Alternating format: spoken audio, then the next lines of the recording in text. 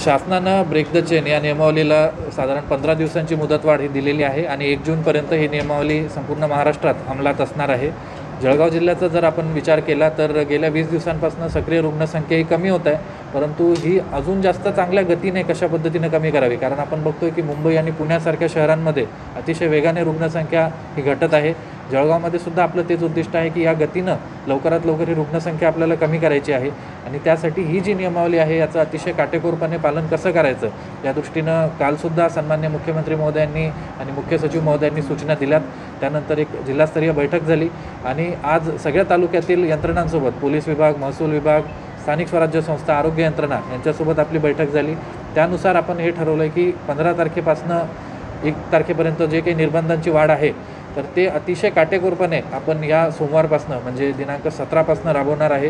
यामध्ये सकाळची जी सात ते अकरा अत्यावश्यक सेवांसाठीची मुभा आहे त्याचा कुणी गैरवापर करणार नाही त्यात गर्दी होणार नाही. या दृष्टीनं वेगवेगळ्या उपाययोजनांचं आपण नियोजन केलं आहे जसं भाजी बाजारांचं विकेंद्रीकरण शहरांमध्ये करणे किंवा जे इतर अत्यावश्यक सेवा आहेत मेडिकल असेल किराणा असेल या गोष्टींना वॉर्डच्या स्तरावरच फार जास्त एका ठिकाणी एकत्रित न होता प्रत्येकाने आपापल्या वॉर्डमध्ये आपापल्या गावामध्ये त्या सुविधांचा उपभोग घेणे या बाबतीत अनेक सूचना आहेत त्या आपण निर्गमित केल्या आहेत.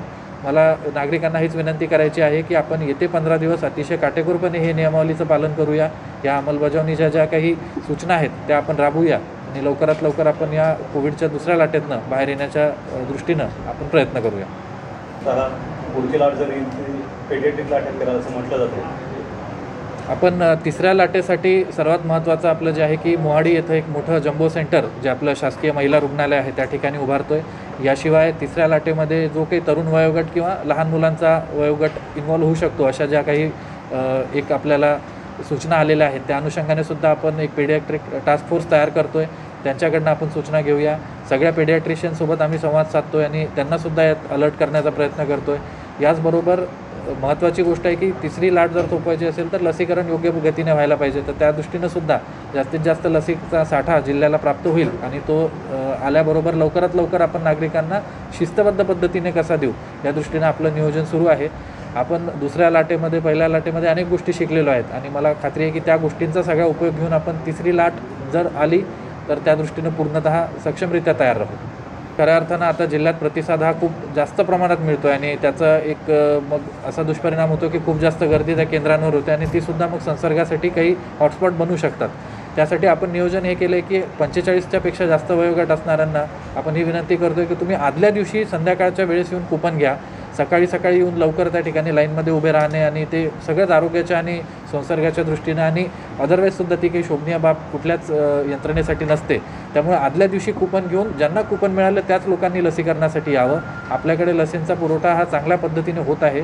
त्यामुळे असं कुणी चिंता करू नये की आम्हाला आज नाही मिळाली तर कधी मिळेल. सगळ्यांचं टप्प्याटप्प्यानं लसीकरण होणार आहे. आपण जवळपास जिल्ह्यातील पंचेचाळीसहून जास्त लोकसंख्या असलेल्या साधारण वीस ते पंचवीस टक्के लोकांचं लसीकरण हे ऑलरेडी केलेलं आहे.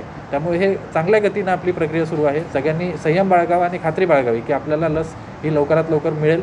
परंतु त्यासाठी आवश्यक आवश्यक असणारी जी शिस्त आहे ती मात्र सगळ्यांनी दाखवणं हे आवश्यक राहील. हातात आहे. आपण जर पुढच्या पंधरा दिवसांमध्ये खूप चांगल्या पद्धतीने निर्बंध पालन केले तर एक शक्यता आहे की एक जूनपासून आपल्याला त्यात मोठ्या प्रमाणावरती काहीतरी सवलत मिळू शकते माननीय जिल्हाधिकारी महोदयांच्या अध्यक्षतेखाली लॉकडाऊन जो ब्रेक द चेनचे जे आदेश आहेत निर्बंधाचे त्याची त्याचे अपेक्षित परिणाम रुग्णसंख्येच्या स्वरूपात वगैरे न मिळाल्यामुळे आणि नागरिकांमध्ये काही ठिकाणी जी शिथिलता दिसून येते या सर्व पार्श्वभूमीवर ही बैठक आयोजित करण्यात आली होती ज्यामध्ये जिल्हाधिकारी महोदयांनी पोलीस यंत्रणा महसूल यंत्रणा त्यानंतर हेल्थचे सर्व अधिकारी आणि सर्व लोकल बॉडीज महानगरपालिका नगरपालिका बी डी ओज जिल्हा परिषद यांची एकत्रित ही बैठक होऊन सोमवारपासून हा शंभर टक्के या निर्बंधाचं पालन झालं पाहिजे.